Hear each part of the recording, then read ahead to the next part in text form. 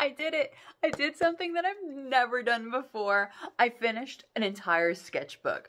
I feel like I did when I finished that lip balm before losing it that one time. I feel like I could take over the world. And I thought, hey, since I actually finished a sketchbook and didn't just do like one or two pages, put it in the closet, and then decide to buy a new sketchbook, let's do a little sketchbook tour. Welcome back friends and if you are new here, welcome. I'm Theresa and I upload videos multiple days a week where we hang out and we talk about things and do things together. If you would like to join our ever-growing community here on YouTube, consider hitting that subscribe button and ringing that bell. That way YouTube will let you know each and every time I upload a new video. So this is a mixed media sketchbook. It has kind of a little bit of everything in it and the way that I use my sketchbooks, some of these pages are going to be like full-fledged like actual pieces. Some are going to be like pinned later on to put them on a canvas so they may not be like completely finished and some are just like sketches for references or just for like practice. So there is a little bit of everything in here. Side, I love it by the way. I love the crinkly papers from the gouache and the watercolor. Mwah, chef's kiss. Love the look at that. So yeah, let's take a look at what's inside. So this was filled up between late June to mid-November. Let me set you to some nice lo-fi.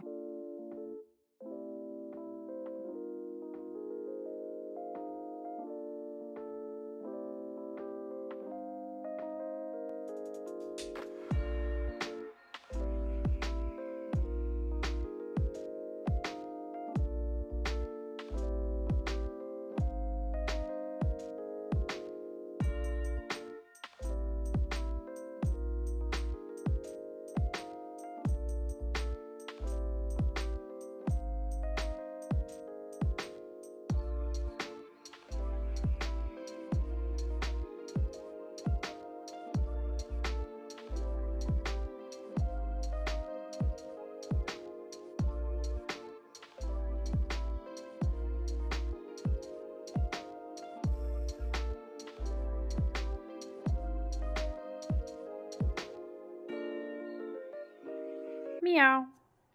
Eek. Wee. Boob cat. Outline. Meatloaf. Wet cat. Really? Top hat class.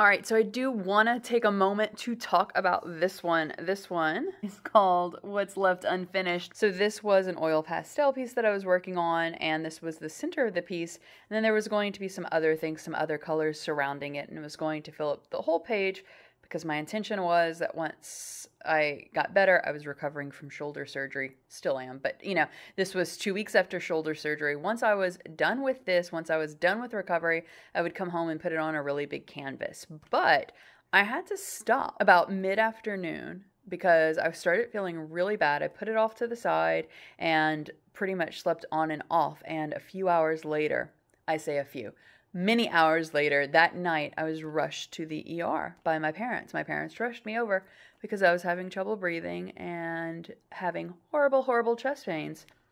I was in the ICU for a few days and was in the hospital for five days total and had blood clots in my lungs that were around my heart, etc. I will put that video down below in the in the description box, in the comments, whatever, uh, if you want to check out that whole entire story. But I thought whenever I got home, my intention was, all right, I will finish this. Also, I don't know exactly which way I wanted it to go. I put the date like this, but it served as a reminder to me how very, very quickly life can change.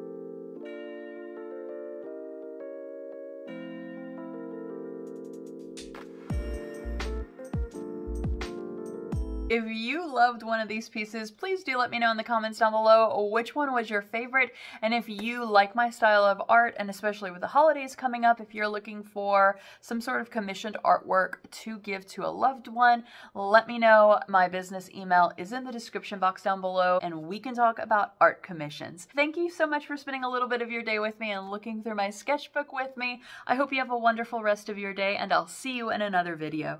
Goodbye.